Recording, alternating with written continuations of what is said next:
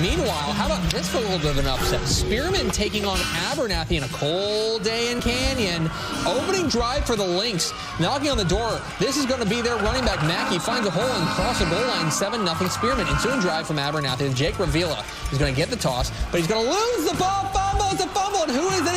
Mackey. Johnny on the spot. And they take advantage right away. Fourth and goal. They're going for it. That's what you got to do to spring the upset. And they get it. Spearman takes down Abernathy 21 over 7.